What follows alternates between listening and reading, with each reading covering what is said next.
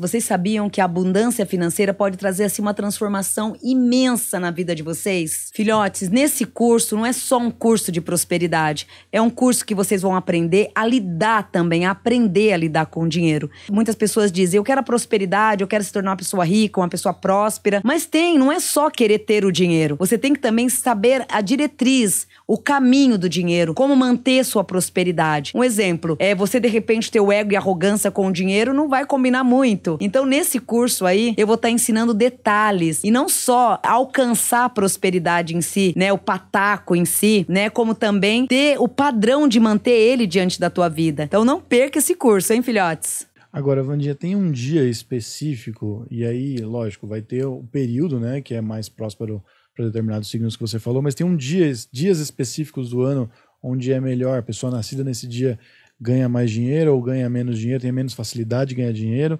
E o que, que dá para fazer para compensar aí?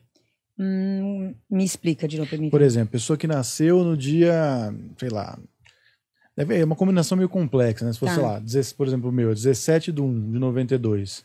A soma disso, de repente, dá uma chance maior ainda ou não? O seu dá, porque vamos pelo o dia, 17, que dá 8. Você já traz uma escala do número 8 que é o número do dinheiro, é o número da publicidade, é o número da comunicação, é o número da caça. Então é um espírito que carrega uma ambição, porém uma ambição bem controlada, uma ambição pelos teus próprios caminhos. Então, pela tua data de nascimento, já é um menino próspero, né? Então já nasce uma já é uma criança ali que vai ter o odum positivo, que já vem numa fase do dinheiro.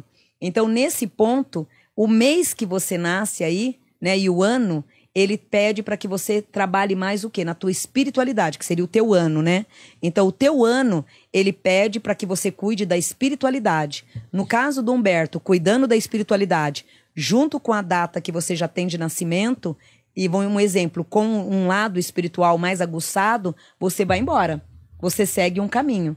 Você entra em toda uma triagem positiva. Vamos pegar o do Daniel, então, para uhum. dar um outro exemplo. E aí as pessoas que estão em casa vão também certo. tirando suas conclusões e vendo se tá bom para elas também. Certo. Sim. Você é 22 do 11, é isso? A minha data de aniversário é 22 do 11 de 1990. Então, o ano dele é ótimo, que é o 90, que é só fica o 9. Então, o do Dani, o, o ano é positivo, o ano é a movimentação, é a transmutação, é o querer, é fazer várias coisas ao mesmo tempo, correr pelo que quer, não tem tempo ruim. Aí o que peca aí nele é o 4.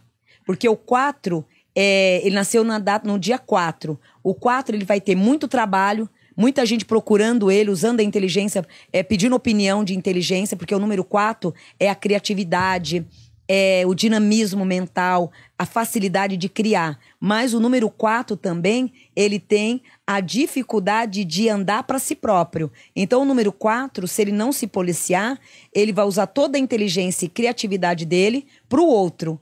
Então, de repente, ele teve uma ideia de montar, é, fabricar celular. E de repente, se você, se ele passar essa ideia para você, você vai embora. E ele é uma ideia ótima, né? Mas que até então serve mais para você do que para ele. Uhum. Então, ele tem ideias produtivas, que brota ali, o número 4 é a fonte de energia. Então, é uma pessoa que pensa demais, cria demais, do nada ele já tem uma inteligência de criar algo. Porém, para ele, como ele é o 4, a, acaba tendo uma certa dificuldade de ter o dinheiro em abundância. De repente, se ele dá para o vizinho, né, é, o vizinho vai prosperar bem mais do que ele. Ah, que notícia boa.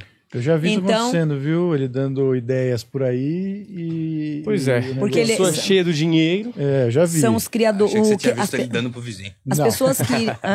as pessoas que nascem nesse. Não que não aconteceu. É, as pessoas que nascem no número 4 são pessoas de minas de informação, mas aí, no caso, espiritualmente, você a espiritualidade ajudaria, ajudaria muito ele. Porque se ele for fortalecer o Exu dele, principalmente, fortalecer o Exu, fortale... o que, que o Dani precisa? O Dani precisa fortalecer o Exu e fortalecer o Oxóssi, né? Que é a linhagem dele. Fortalecendo esses dois, aí começa a abundância acontecer. Por isso que esse ano para você é um ano muito bom né? Por mais que os outros tenham sido um ano de preparação, esse ano é o ano do número 4, é do, dos nascidos né, na regência 4, ver o dinheiro palpável, né? É, como é que fala? Se tornar palpável? Isso. Matéria, materializar o dinheiro. Então, esse ano é onde você começa a ter o dinheiro materializado. Por quê? É, por você ser o 4 no nascimento e a regência ser de Oxum, Você esse ano acaba sendo auxiliado por ela e ela te levando o quê? Num ciclo. Então, esses próximos ciclos, que são sete anos, né? Uhum. Es- Esses próximos sete anos é o ano em que você tem que aproveitar essa carona de Oxum, que é a deusa do dinheiro, a dona da fartura. Então, ela acaba trazendo, levando você às fontes produtivas.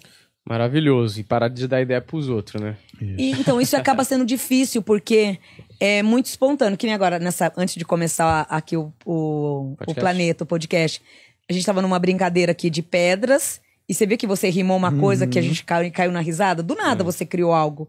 Isso é muito espontâneo em você. Ah, Então não assim. adianta, vai ser Mas a sua é- natureza. E essa é bem a história, viu, Vandinha? Porque você não poderia usar essa piada porque você não tem. Você não encaixa no É. personagem. entendeu? Perfeito, perfeito.